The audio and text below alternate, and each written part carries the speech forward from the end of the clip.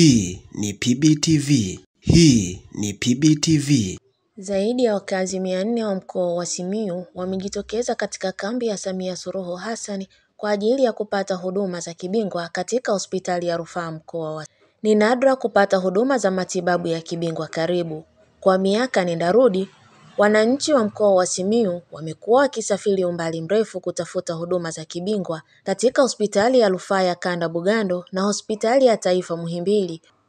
Uwekezaji mkubwa uliofanywa na serikali ya awamu ya sita katika miundombinu ya afya na vifaa tiba ni mkombozi. Huduma ni nzuri, madaktari wanatupa ushirikiano mzuri. Mimi nampongeza sana Mheshimiwa Rais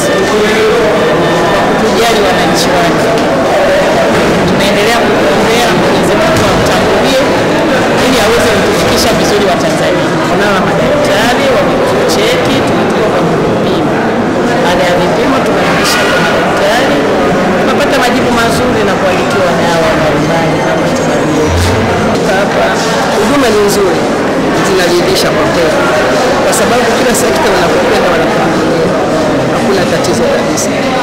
Tunamshukuru Mama Samia Suluhu Hassan kwa kuleta hii huduma sisi kina mama.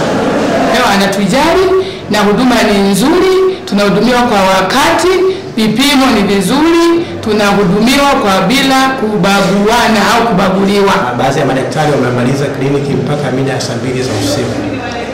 Kwa hiyo kwa jinsi ambavyo tunavyoendelea kuanzia ile jana na hata leo, bado wananchi wengi wamejitokeza kwa ajili ya kuja kupata hizi huduma.